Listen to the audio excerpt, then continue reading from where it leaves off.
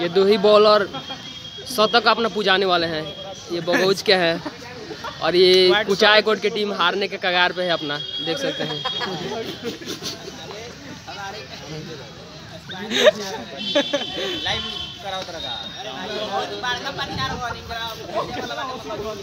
इरफान देखिए, हमारे इरफान है।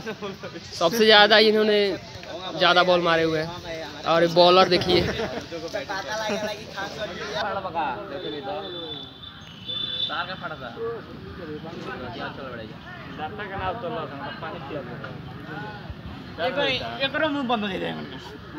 बहुत ही फील्डर देख सकते हैं वहाँ पे कितने छिप रहे हैं। कितना बॉलिंग बॉल का पिटाई हो रहा है।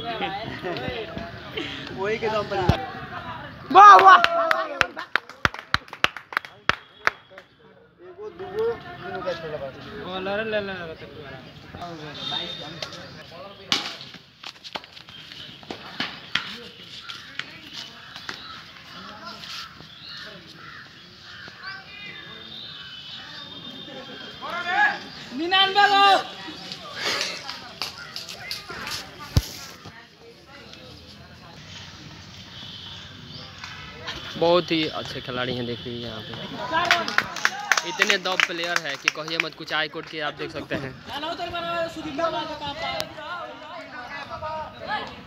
आप देख रहे हैं यहाँ पे कैमरा डबल कैमरा हो रहा है। एकदम विजुअलाइज करके डिजिटल यहाँ पे मैच हो रहा है, आप देख सकते हैं। वहाँ पे कैमरा मैन देख सकते हैं, कोई भी बॉल इधर उधर करने देखिए। चार रन देखिए। देखिए यहाँ पे कुचाय को टूर्नामेंट प्रीलियम में, और ये बगौज की टीम जीत रही है बहुत ही अच्छे स्कोर से। यहाँ पे प्लेयर थोड़ा दब है, इस जिसके चलते जिसके चलते ये लोग हार रहे हैं। और कुछ फान और पवन दो ही मतलब यहाँ पे बैट्समैन अड़े हुए हैं शतक अपना बना लिए हैं। और देख सकते हैं कितना अच्छी स्कोर ये लोग कर रहे हैं, देखिए। देखिए यहाँ पे। बहुत ही अच्छा से।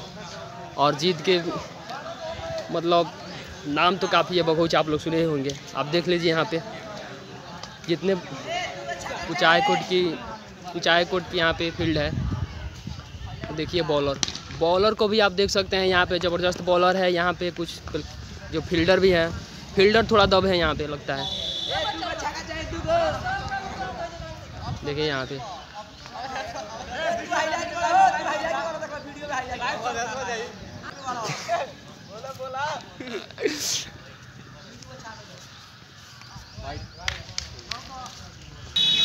अभी आप देख रहे हैं यहाँ पे कुचाय कोर्ट में मैच हो रहा है टूर्नामेंट हो रहा है बघौच से और कुचाय कोर्ट से। कुचाय कोर्ट की टीम बुरी तरह से हार चुकी है और दो ही बैटमैन भारी पड़ गए हैं बघौच का। आप देख सकते हैं यहाँ पे इरफान है और यहाँ पे जो कैमरामैन है, क्योंकि यहाँ पे कैमरा इसलिए हुआ, हो रहा था क्योंकि विजुअलाइज करके पता किया जा सके, रन जे वाइट है कि क्या रंग है, जो भी मतलब डिसीज़न लिया जा सके आसानी है। देखिए यहाँ पे, ये बहुत ही अच्छी फ़ील्ड है यहाँ पे।